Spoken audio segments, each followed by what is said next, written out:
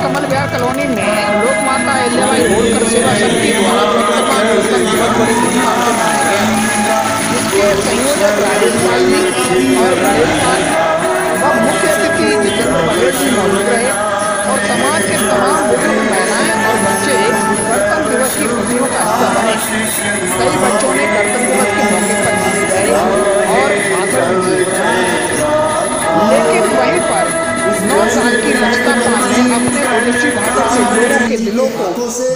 कर रख दिया। नौ साल की लचिता पाल इस तरह भाषण देती हैं।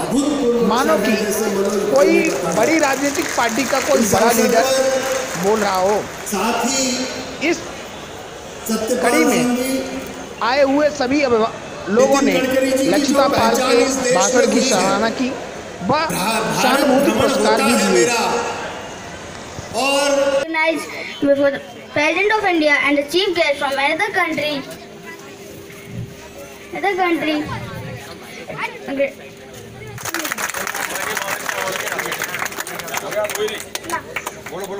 At this day, uh, the Indian Constitution came into force in 1950. That, however, was adopted on 1949, and the Constituent Assembly was declared Purna Swaraj by Indian National Congress in 1930. That's why this day was chosen to bring Indian Constitution came into force.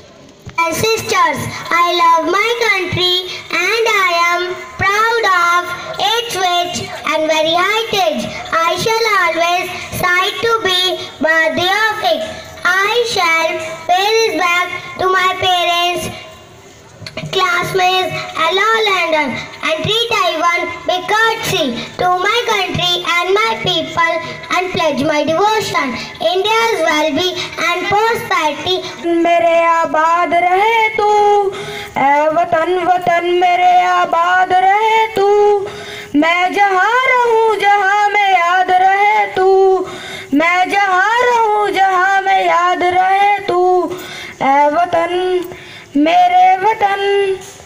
ऐ वतन, मेरे वतन, तू ही मेरी मंजिल है, पहचान तुझी से।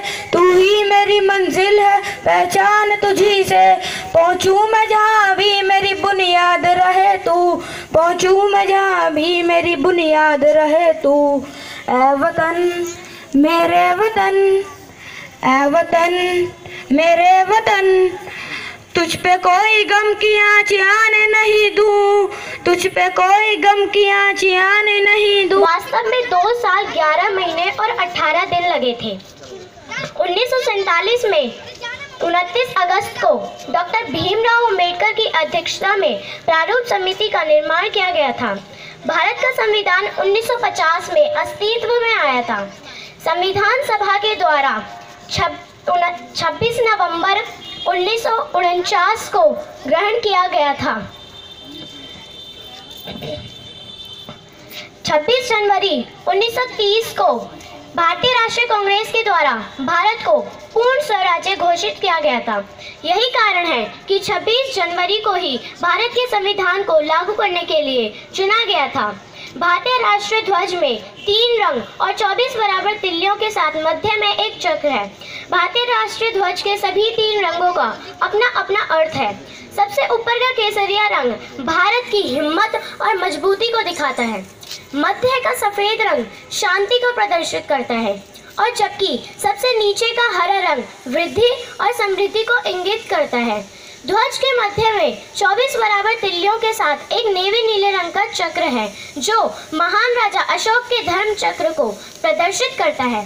भारत एक लोकतांत्रिक देश है जिसके यहाँ पर शासन करने के लिए कोई राजा या रानी नहीं है, बल्कि यहाँ की जनता ही यहाँ की शासक है।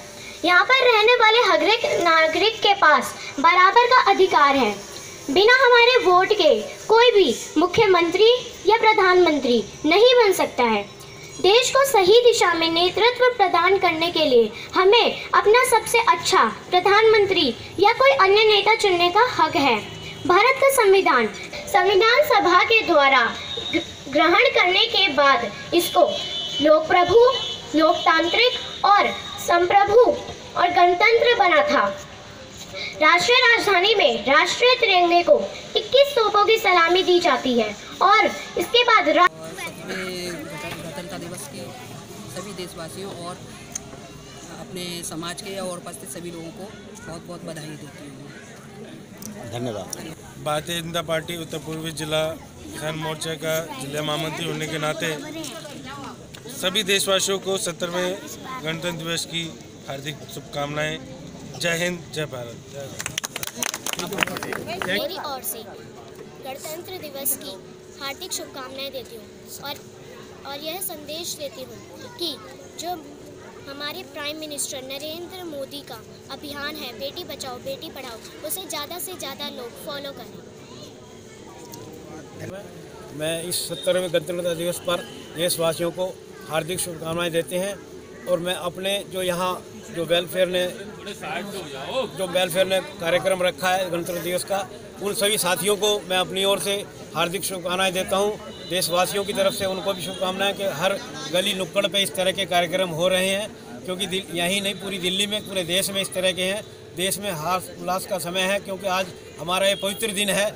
आज के दिन हमें इस संविधान मिला था और इस संविधान के तहत ही इस देश में जो कुछ भी कार्यक्रम हो रहे हैं, वो चल रहे हैं। तो मैं चाहूँगा कि ये जो एक सामाजिक अहिल्याबाई होलकर समिति ने जो बनाया है, मैं समिति की ओर से भी सभी देशवासियों को हार्दिक धन्यवाद देता हूँ और कहता हूँ कि इस समाज के लोग जो इस समिति को चला रहे हैं, वो भी इस देश की भागीदारी, जो राजनीतिक भागीदारी इसमें हिस्सा लें और इस देश में अपने स्थान को पक्का करें। यही मैं इस समिति के जो भी कार्यकर्ता और जो भी संयोजक हैं, उनसे उम्मीद करूँगा कि वो इसको आगे बढ़ाएँ और समाज को आगे बढ़ाएँ। धन्यवाद, जय मैं ललिता बघेल। कमल विहार में। आज इस लोकमात कमल विहार में जो गणतंत्र दिवस के शुभ अवसर पर यहाँ कार्यक्रम आयोजित किया गया है, अपनी तरफ़ से और समिति की तरफ़ से मैं सत्रहवें गणतंत्र दिवस पर सभी देशवासियों को शुभकामनाएँ देती हूँ, क्योंकि ये हमारे लिए एक हर्ष का दिन है। लेकिन मैं एक संदेश भी देना चाहूँगी समाज के सभी लोगों को, सभी देशवासियों को, कि हमारे प्रधानमंत्री मोदी जी ने जो स्वच्छता का अभियान रखा हुआ है, हम उसे पूरा नहीं कर पाते।